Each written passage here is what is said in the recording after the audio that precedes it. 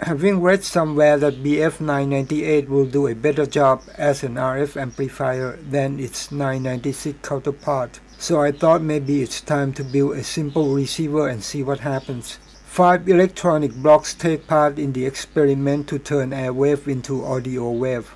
The 998 is assigned to do the RF the 996 to do the mixer and one low-cost junction FET to do local oscillator that can generate 82 to 88 MHz. With the configuration shown here, the 998 is put under test to observe its drain current at different bias voltage on gate 2. According to the test, voltage 7.3 volt at gate 2 yield drain current of 10 mA, which is the setting used in this experiment although it seems the device should perform better at 6 volts. This is a simple circuit diagram that was used to produce a copper clad circuit board for the front end section.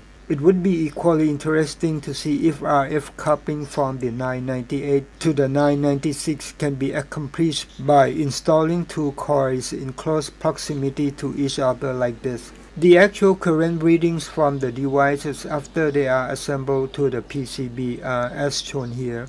The yellow shade shows metal shielding in different areas of the prototype. And once more, the popular LA1235 is attached to the front-end prototype to do FM demodulation. Here is how ugly such prototype can look like.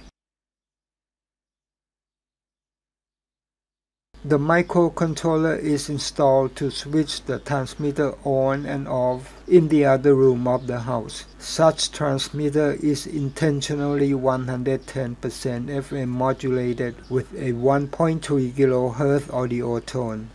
Here is how that kind of modulation sounds like at the prototype receiver.